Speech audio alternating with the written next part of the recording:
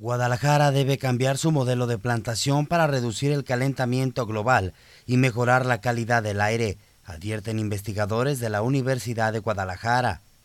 Sí, porque este, yo calculo que en seis años tenemos temperaturas ya rebasando los 50 grados. ¿Por qué?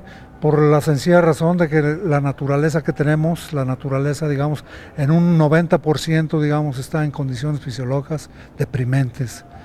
O sea que el 90% de la naturaleza carece de una biomasa que garantice reacciones bioquímicas complejas para la biosíntesis y el metabolismo de los aminoácidos. Eh, tenemos una naturaleza que carece de una biomasa que, este, que no garantiza estímulos, o sea, este, eh, pues, eh, reacciones bioquímicas complejas y para poder, digamos, llevar a cabo todos los factores, digamos, todos los procesos naturales que puedan, digamos, crear, constituir los mecanismos necesarios para poder garantizar el máximo potencial de producción en agua, en oxígeno, en captación de dióxido de carbono. Tenemos una naturaleza que, pues, este, eh, pues no, este, no, no garantiza, digamos, este, mecanismos que verdaderamente eh, nos constituyan refugios ambientales para poder, digamos, protegernos de los fenómenos y poder contrarrestarlos como el calentamiento global. Según las investigaciones de este fitotecnista, se encuentran ya en la atmósfera gases sumamente peligrosos que de no atenderse con un modelo distinto de plantación abonará una calidad del aire pésima y que en breve podría traer como consecuencia la muerte de varios especímenes. Tenemos un, este, un diseño de plantación forestal que este, pues, es el principal responsable de que la naturaleza esté en condiciones fisiológicas catastróficas. El diseño de plantación forestal es, digamos, este, usado solamente para bosques, para cerraderos, para rodales, para este, áreas de explotación, más no para, digamos, este, mantener en, áreas urbanas a la naturaleza con un diseño de plantación forestal. Eso es catastrófico.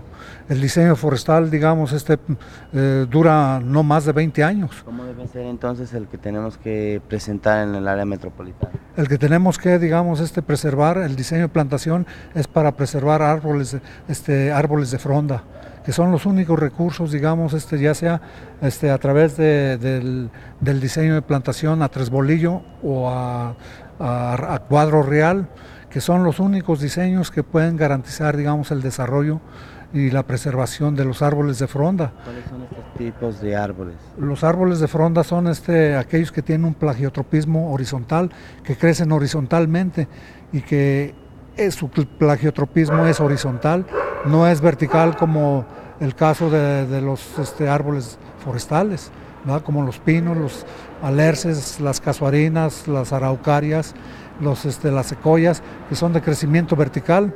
Y el, árbol de, fronda pues es el, el único recurso que tenemos en la naturaleza que garantiza el máximo potencial de producción en todos los aspectos. Pese a que el estudio se ha dado a conocer a las autoridades, poco se ha hecho por estas para corregir el problema. No, no lo saben. Y aún sin embargo se dan el lujo de rechazar, digamos, proyectos que este, garantizan resolver los grandes problemas del país, o sea, los grandes problemas de la naturaleza y su medio ambiente. ¿Por qué? Porque por la ignorancia de todas estas autoridades. ¿Ya lo ha comunicado usted a ellos? Sí, yo inclusive les he dicho, pero este, no valoran los proyectos. Yo, yo cuando me fui a Estados Unidos precisamente a, este, pues, a, empezar el proceso de investigación, yo pues prometí a Guadalajara un proyecto, que a la Universidad de Guadalajara también, porque soy egresado de ahí, un proyecto que, no tuviera el país y pues me fui por ese camino para poder, digamos, este, eh, traerle a, México un proyecto que, que ni, Estados, ni Estados Unidos tuviera y lo estoy cumpliendo porque allá no me dejaban venir de Estados Unidos, porque les dejé árboles hasta de 400 metros cuadrados cada árbol cubriendo esa superficie. Entonces aquí los andan tirando desde hace más de 50 años. Este, han masacrado decenas de miles de árboles de fronda, por eso la temperatura se, aceleró, se aumentó. Antes, hace más de 50 años, Guadalajara no rebasaba los, los 30 grados centígrados y, este, por lo mismo, por esos, por esos recursos que había antes.